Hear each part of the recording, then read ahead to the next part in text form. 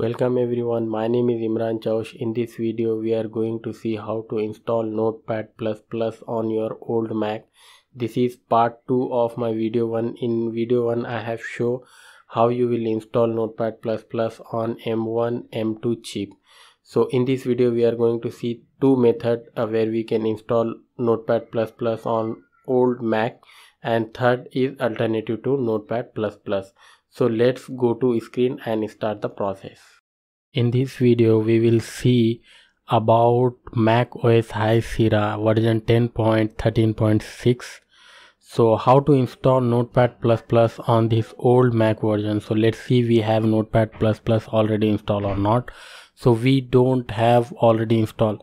But for installing that we require three software win hq and xquartz uh, these are the two software which we require and third one is notepad plus exe so let's download those software first. So first go to the google and type win win hq download for mac.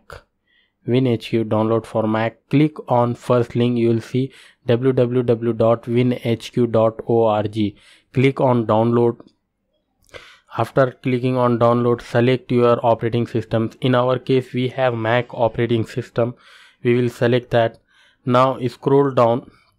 Go to the install deprecated and install for wine stable. Okay click on that. It will start downloading that wine hq stable 5.0 dot package. Click on save button. It will start uh, downloading that package. So go to the download. You will see uh, it's started downloading that software. Okay once it will uh, is the, uh, complete we will download uh, notepad plus plus version uh, download 32 bit. Okay now also we will save that. Because this is old mac version so we need 32 bit not 64 now another software which we require is xquart okay xquartz that software we can also download. All the links are in the description so click on xquartz once you click on xquartz download uh, click on that package. It will start downloading. Okay it will take some time but uh, no issues. It uh, all the softwares are uh, uh small uh, in the size okay? So let's see this is our mac version older version okay? So it's not allowed to install win hq first. We need to install xquartz uh, before installing that. So it's uh, saying the same message.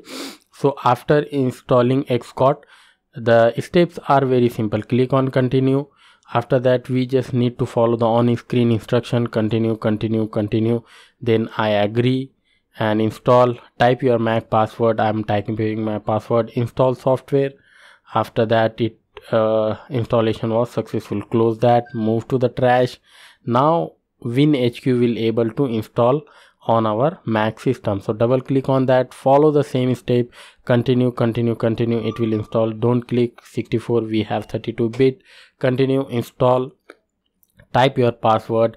Install software it will install that as well successfully. Okay close that. Move to the trash. Now we have only notepad exe file okay? Now we will go to the wine and it will open. Before that xquartz is there and wine is there. So open wine we don't have notepad plus plus yet. So open that. Now just type wine space and your notepad exe e dot exe location okay? Just hit enter. It will start downloading notepad plus plus okay? Installer language. Please select a language okay? We will keep it background simple. So follow the ongoing instruction. Click on ok. Next i agree. Next next install. Okay finish. Now it's uh, downloaded okay? Maximize the screen file new file now type this is notepad plus plus in old mac okay? Maximize or minimize the work okay screen. Now it's good. Now move to the trash. Now we will uninstall all the software because we are going to see another method okay? I'm uh, speeding the process. Now we don't have any notepad plus uh, this software any any none of this. So this is second way to install that. So run microsoft windows software on crossover. So free trial click on that. Uh, give your uh, username and email. It will start uh, downloading that software as well. So it will take some time but i'm speeding up my process. Okay once it will download so we will extract that software as well. So this is our uh, the previous one is our first method and this is our second method. So once it downloaded go to that screen okay? Go to your download folder. Download folder okay? It will take some time so be patient okay? Now we just double click on that.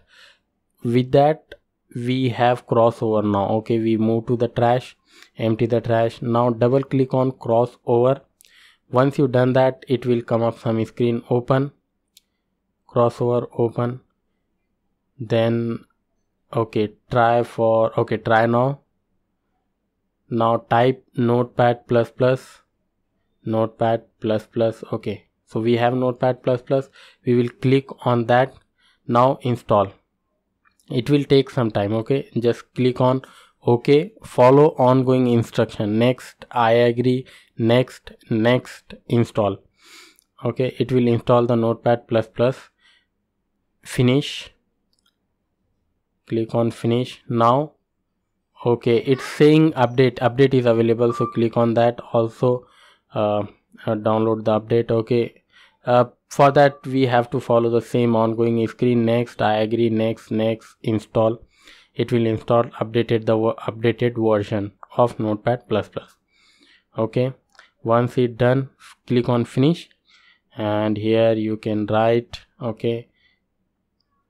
Okay this is uh, if you go here and you can click so it will uh, from crossover you need to open that notepad it will not show uh, on your launchpad okay so file new file write something this is notepad plus plus on old mac. Okay this is notepad plus plus on old mac. Now we will also uninstall this. So how to uninstall this? Go to application and select for that and move that folder in trash and empty the trash. So right now we don't have anything. Now the third method the alternate to notepad plus plus which is sublime text. So this is the alternate for notepad. Plus plus down go to this website type sublime text editing. It uh, download for mac now. Okay it will start downloading so just click on save. Once it downloaded double click on that. We have sublime text logo. Now double click on that. So we have to follow okay open open. We have to follow whatever instruction is there. If it is not open in case because we are downloading from internet. So we you have to go to general system preferences general type your password then app store and identify developer. You have to click there. Okay open. In in my case it's working fine. Okay in our case it's completely working fine. Now uh, it's not there in the application. So you can put it on uh, to your dock type something. This is alternate for notepad plus plus. Click cancel. Don't save. Okay in um, uh, we will try to save as well. Now quit. Now we will keep that on our dock so how to do that? So we will we will go to our download page uh, where uh, the logo is there. If you go to the download sublime text and put it onto the dock now we have sublime text as well. Click on that. Uh, write something test and try to we will try to save that file as well. Now test and then uh, close that file. Save where we want to save it. We want to save it on our desktop so we'll able to see that. Okay test file. Save. Okay it's complete. Thanks for watching